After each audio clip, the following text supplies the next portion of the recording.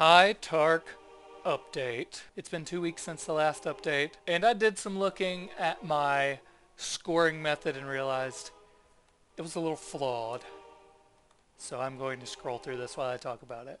Uh, this is the spreadsheet that I used before I used GameFAQs in order to keep up with all of the requests that I had, games that I had played, games that I was currently playing, games that I wanted to play, and That's a good game. I realized that I had been keeping track of all of the votes that I'd received in that request column there, so I just updated that from the last video that I made and added people's names that weren't already on there, and then put a votes column there, the, this, this column right here, and decided it made more sense to rank the games based on how many votes they had and not where they were arbitrarily on the list to begin with. So I did that, and Chrono Trigger came out way on top. If you look at this column over here, you can see these are those games, the top 12 that are on hold that have started.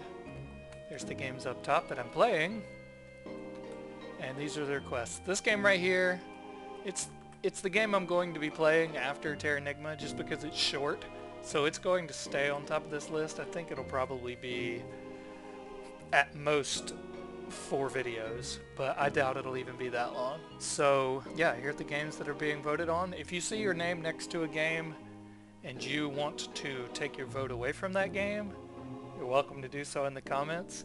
If you see a game that doesn't have your name next to it, that you want it next to, leave a comment and I will put your name there and it will move up accordingly on the list.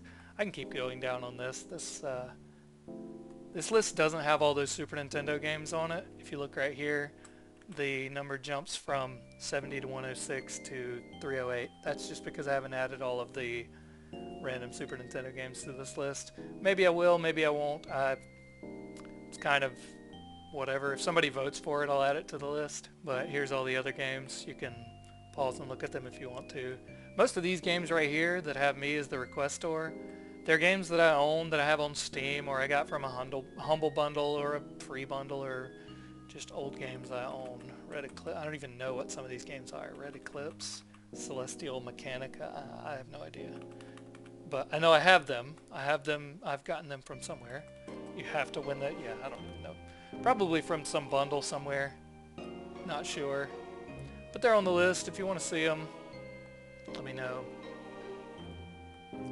Most of these at the end here were just ordered alphabetically.